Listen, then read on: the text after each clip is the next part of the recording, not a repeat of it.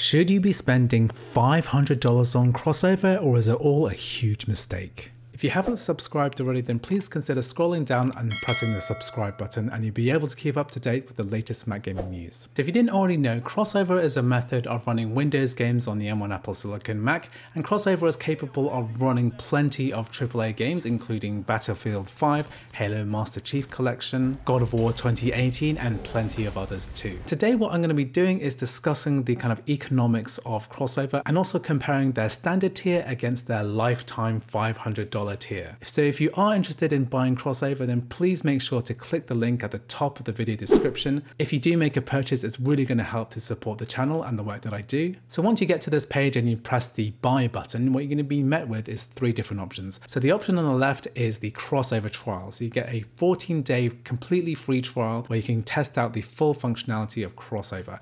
And after that, you're going to need a license. And I think that 99.99% of people are going to be buying the crossover plus. And what this basically entitles you to is one year of free software updates. Crossover isn't a subscription service because you're going to be entitled to any version of Crossover that is released in the year that you bought your license in. However, as compatibility becomes more and more complex, you're going to want to keep resubscribing in order to keep up with the latest versions of fixes. But we also have the option of buying the lifetime license. So this costs $499.95. And if you think about it, it's a pretty good deal because if you're buying Crossover Plus for multiple years, then eventually you're going to be spending more more than the lifetime license. But we're not going to stop there because we're going to do a bit of a deeper dive into the full value of what crossover can bring and what the best prices are. What I've done here is I put together a spreadsheet calculating how many years of crossover plus you'd need to buy until you recoup your cost of crossover lifetime. That's because we're spending $59.95 every year until we hit the $499.95 mark. However, it is not actually that simple because there are actually ways to get crossover plus for cheaper. So if you go to the crossover website and you enter the promo code Apple Gaming Wiki,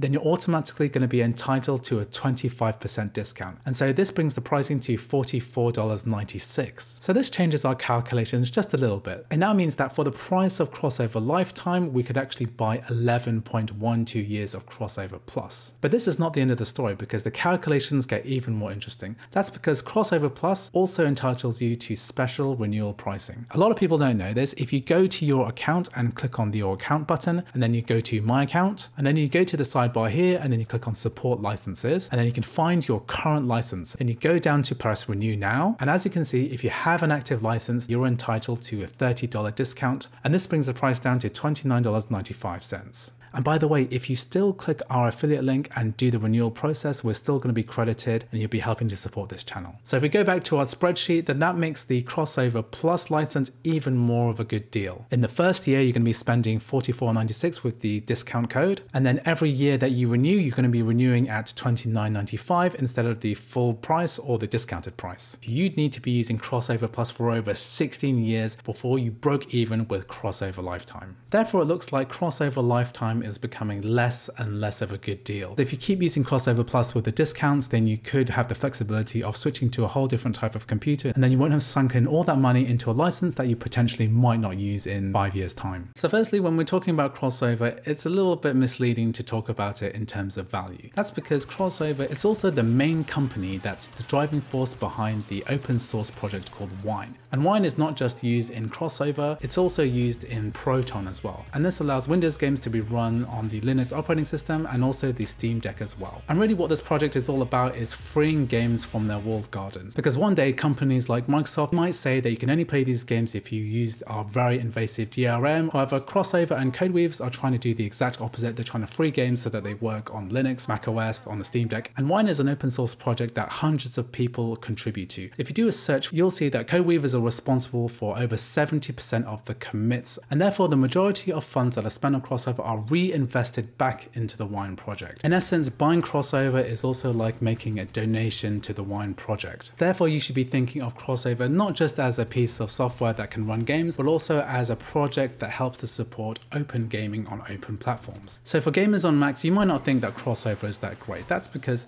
plenty of games aren't compatible with crossover. However, there's only really one company that's trying to look out for gaming on the Mac, and that is Codeweavers. They've had such an uphill battle, especially as Apple have changed the rules for what can run on a Mac over and over again. And the future of crossover is also looking brighter and brighter. So DirectX 12 support is going to be integrated into crossover in the very near future. And crossover version 22 is going to be released later this year and it's going to incorporate Wine 7.0 support, which is going to massively increase the performance of 32-bit games running on the M1 chip. And also if you check out the latest nightly builds of crossover, you'll also see that I've been working on a brand new interface which looks fantastic. So anyway, Codeweavers and crossover, they deserve all the support that you can give them. I hope you found this video interesting and useful. If you did, please like, please subscribe, and I'll see you in the next video.